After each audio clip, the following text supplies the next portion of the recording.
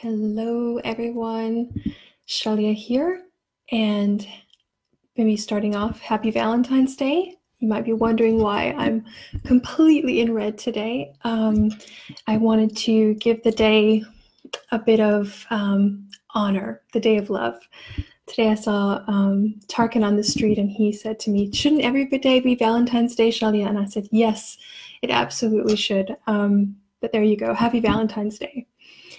In today's video, I would like to talk about waking up to thought.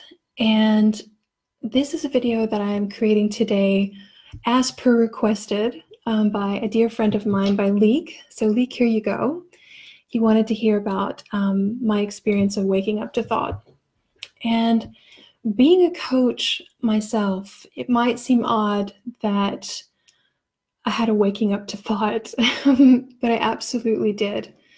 Um, it was in 2015, and I'm going to talk about that today, what that what that looked like for me. But maybe just to go back a little before that, what what did I know before?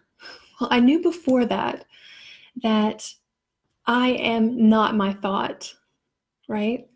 Um, I knew that I couldn't be because I was able to observe the thoughts I was having. I could I could see sort of the dialogue in my head, the little the little voice that runs um, in our mind every day, all day, that no one else can hear but ourselves. Like I'd I kind of gotten awake to that to that fact, and as a coach, I had spent a lot of time before 2015 listening to about other people about what they were thinking um, so I knew that other people were also having these thoughts. They they were able to observe their own thoughts as well. And up until that time, I had looked at thoughts as being constructive thinking or not constructive thinking. Um, things to the point where when we would have a constructive thought, we would think we would we would do better, feel better, and if we were have destructive thinking, we would not do as well, um, not feel as well. And things started to shift in 2015 and, and in this way. So I was at a I was at an event in, in Oslo in Norway, um, hosted by a three principles uh, school there, and they had gotten George and Linda Pransky to come over from from America and to talk about the three principles. And I think, if I'm not mistaken, it was a, a two day event. Um, and George and Linda are really, really sweet couple. Um, they they sat in front of the room, ever present and really calm, and set the pace for the two days in such a way that was just I can only describe it as a, a really slowed down atmosphere, a really slowed down, present, and connected atmosphere. And I really enjoyed being in that space as I usually was in more of a state of going faster than that. That's not the only way that I can explain it.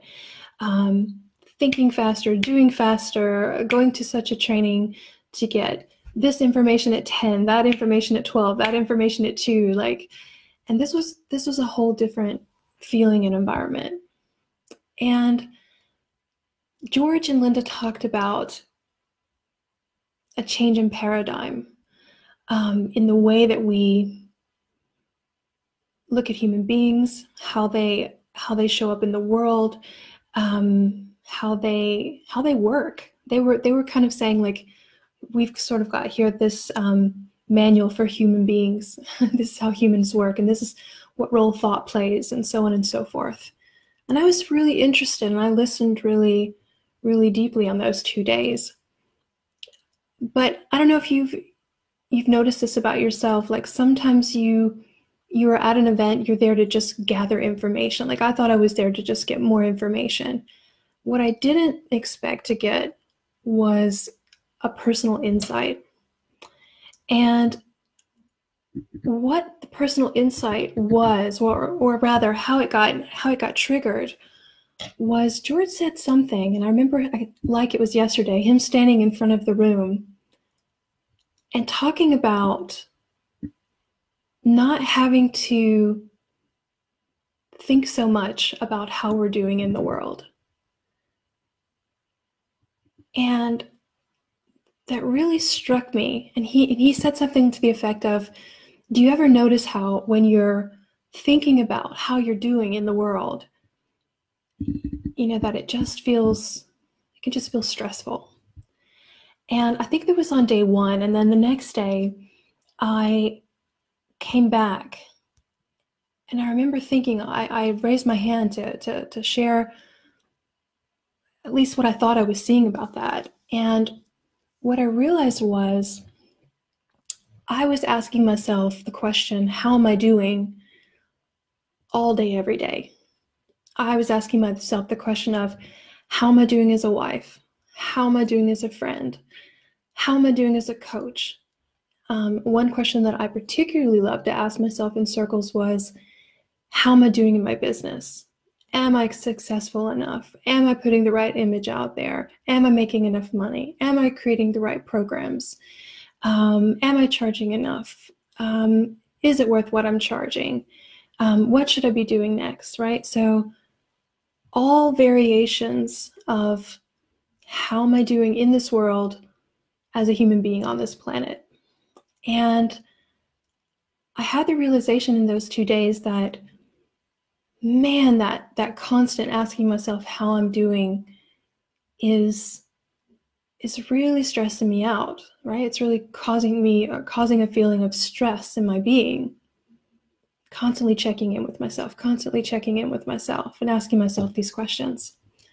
And so that was the first time i was w- woken up to these thoughts that i was having and not just thoughts as being constructive or not constructive but the fact that they were in this case just permeating my my my hours my days my weeks and just really noticing for the first time how having all these thoughts going around in, in my head and asking myself how i'm doing all day long what effect that was having on my oh my physiognomy my body feeling stress in my body um, how much it was um, making me feel mentally weary um, and wondering to myself, is there another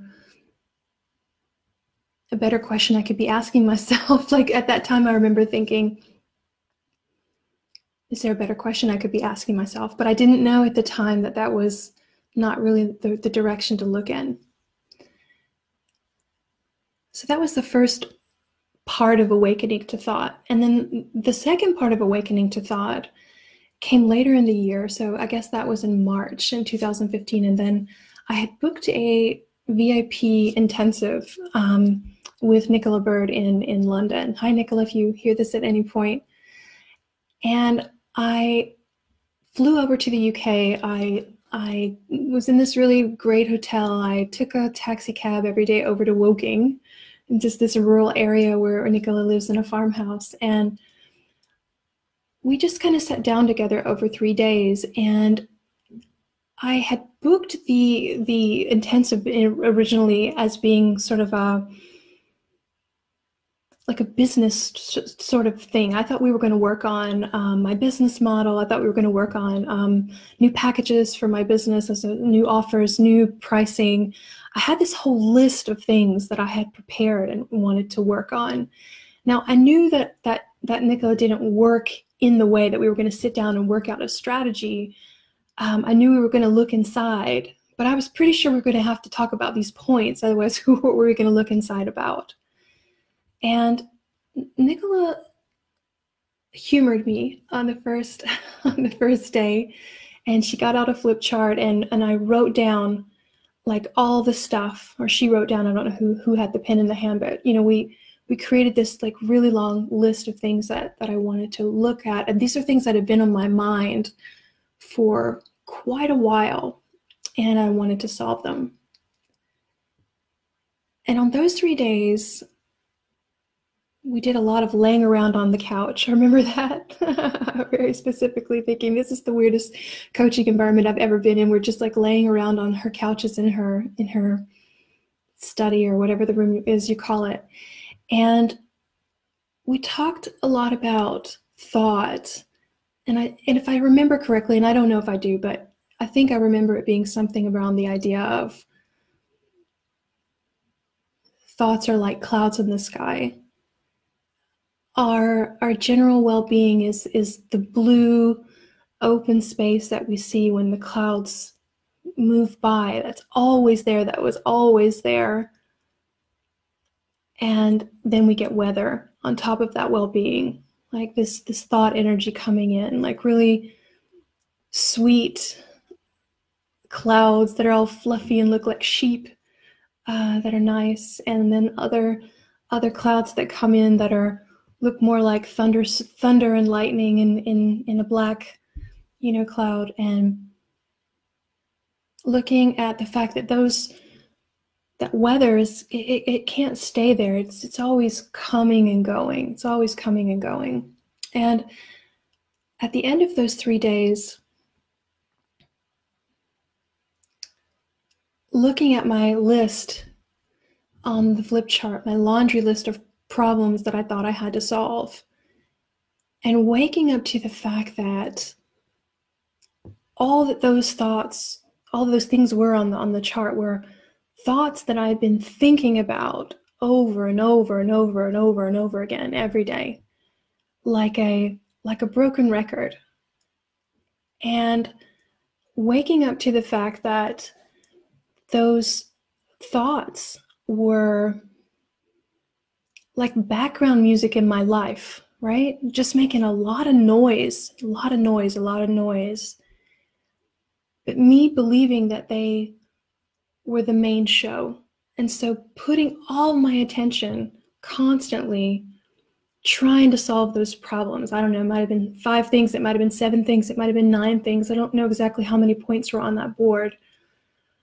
But realizing that if it weren't for that, thinking about those seven points, let's just say it was seven, that I was absolutely fine. That that that I had just mistaken that background noise of thought as something important and got lost in thinking about it, focusing on it, trying to figure it out. And on that day, I could see very, very clearly that everything there stopped being there the moment I took the importance off of it. And and I remember going home for the first time and in, in years, just getting up the next morning and not having all that broken record thinking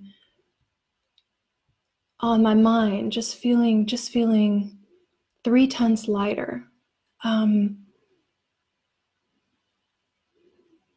Now that thought came back. That thought came back. It wasn't gone forever because thought thought always comes back. It's it's it's it's like the air we breathe. It's like the blood that's circulating in our veins. It's it's it it's an energy that belongs to life, just like the sunshine on our skin. And it it came back, but the difference was when it came back, what I had woken up to was the fact that it's it's just there. It's just going to come and go. And it and and it doesn't mean anything. It doesn't mean i have a problem. It doesn't mean i have to do anything about it. And i can just let it be come and go as it does. So that was the second part of waking up to thought. And at that time in my life because i had been obsessively thinking the same thoughts over and over again every day for years when i when i stopped hanging out in that space eh, on the inside what happened was even though those thoughts started coming back they they they didn't fill up the entire space. They they left some room for some new thinking. And the more i was able to recognize and notice what was going on, the more space that kept getting created on the inside for new thinking. And the more and more as I would go forward, though, the lighter things began to feel. and the less seriously I would take thought as a specific thinking or as an energy. And then later, the third part of waking up to thought was when I stopped categorizing. So I used to categorize my thinking in the form of this is good thought. I feel good when I think that. This is bad thought. I feel bad when I think that. I don't think I can control either of, of the two, whichever one's there, but when they're there, this this does this, this does that. And I would be very aware, trying to recognize bad thinking because I didn't want to feel bad, right? But I never put my my attention onto the good thinking. And then at some point I woke up to the fact that all forms of thought are of the same quality. And one of one of my favorite pictures that I I, I like to think about when I think about this is um, I have this fantasy in my head of a um, of a of a beach in Hawaii. I've never been to Hawaii, but I'd like to go someday. And I have this fantasy that there are these just paradisical um, beaches, and that when you sit on this beautiful light sand that's soft and you look out into the ocean, it's all like turquoise or, or, or deep blue or all shades of that. And I imagine that there are five people, 10 people, 15 people sitting on the beach on, on, on towels. Let's say they're on towels, why not?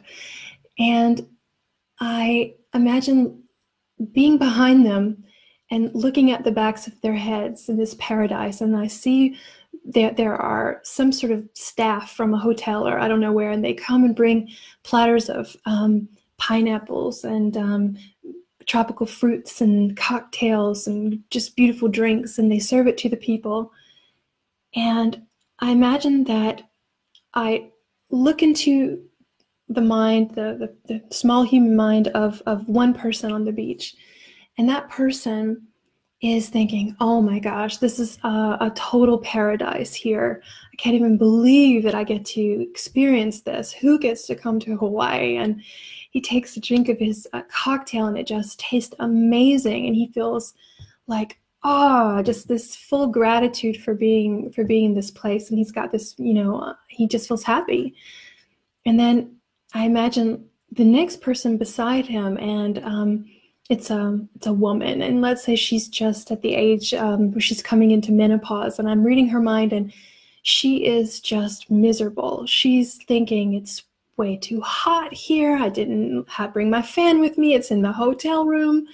Um, how am i going to get through this time to the sunset she's just like freaking out in her mind's eye like this horrible hot weather and not even at all being able to um, see this beautiful scenery as something good. Like in her in her reality that she has because of thought she's seeing this as like a, a bit of a horrible place at the moment right and then i was imagining um, somebody else beside her a man and he was looking out onto the water and in his mind when i was reading it he was having thoughts of his fru- um, his earlier um, wife who left him for another man and he's thinking i would love to enjoy this, but I can't without Matilda. Like without her, this means nothing. And the reality that he's got going on or filtered through his thought, this is looking to him like a very sad place at the moment um, and full of pining. And then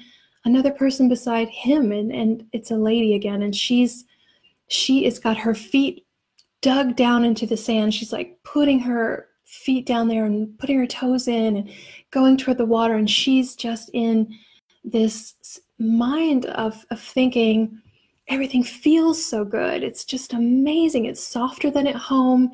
The water's just lukewarm.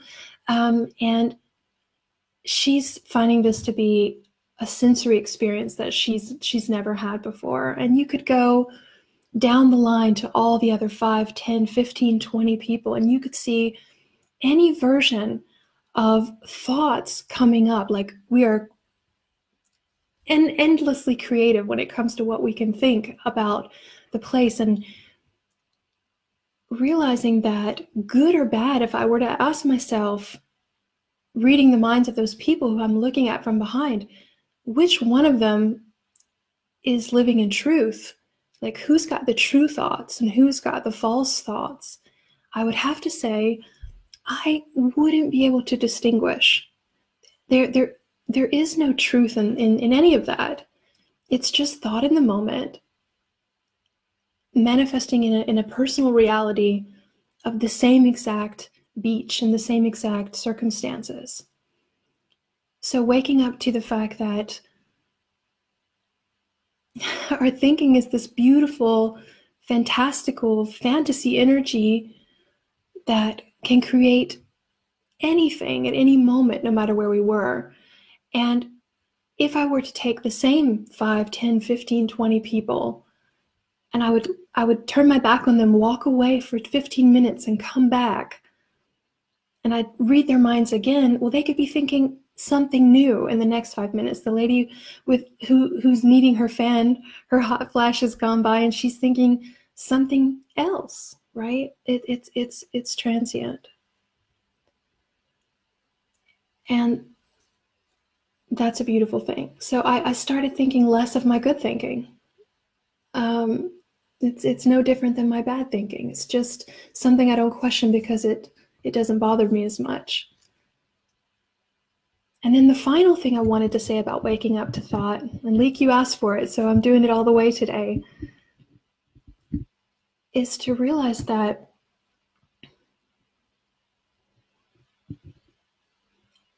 all that transient thinking that's coming and going it is it is just there for me to have experiences in life. It is it is the stuff of which experiences are made of.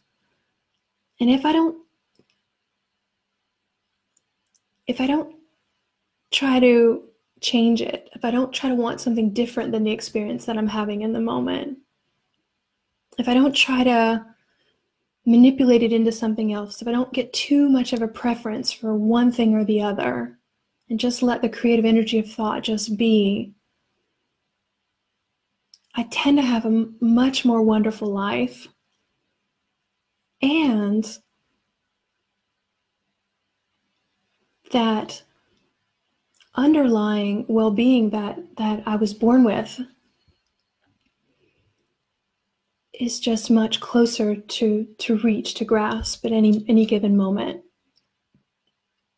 because i'm not i'm getting less and less confused by by the veil of thought that comes and goes and being able to see more often the blue sky background before the weather and and what that space brings is just a sense of peacefulness sense of lovingness um, it's a space of wisdom where I can where I can feel that I know what to do next in my life.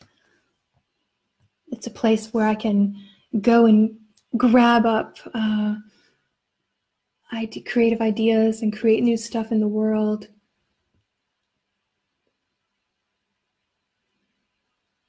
Yeah. Recently, um, I was thinking of the metaphor of the bride, like if thought is the veil of the bride, it belongs to the bridal experience, but the true thing that that that makes me excited and what I'm always more and more looking for is when you when you lift the veil and see the beautiful bride underneath, the bride that is that is the, the, the beautiful intelligence behind life that that makes us alive. Yeah. So that's it. That's my um, my video for today, Waking Up to Thought. What did you see in that? What did you hear in that today? I'd love to hear your thoughts. Um, share them with me here in the comment area. And um, I will totally be glad to write you back. You're very welcome, Sherry. Come on in any time of the day. I'm going to be doing some more English videos soon. So, so good to see you here. Have a wonderful day. Bye, guys. Have a great weekend.